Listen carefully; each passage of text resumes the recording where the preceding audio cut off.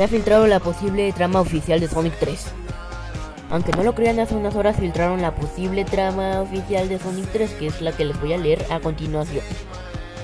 Cuando Sonic, Tails y Knuckles derrotaron a Robotnik y a sus Batnik, Green Hills estaba a salvo, pero todavía no había acabado. El equipo tendrá que enfrentarse a lo que el abuelo de Robotnik había creado, el proyecto Shadow.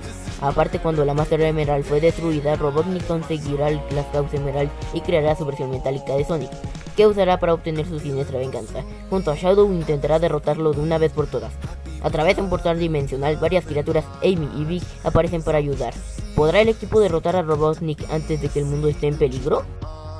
No sabemos muy bien si esta es una trama oficial, pero lo que podría hacer es que tal vez Eggman vaya a volver para la tercera película junto con Jim Carrey, ya que en una entrevista dijo que planeaba retirarse de la actuación. Aparte de que cuente con la participación de Amy Rose y de Vicky el gato estaría genial para mí. Esperemos que esta trama sí sea oficial ya que todos sabemos cuántos fans matarían porque eso pasará en la película. Pero yo no sé, ¿ustedes qué piensan? ¿Creen necesario que Jim Carrey vuelva para la tercera película? ¿Creen que salga Metal Sonic? Recuerden que me ayudarían bastante con un like. Hasta luego, adiós.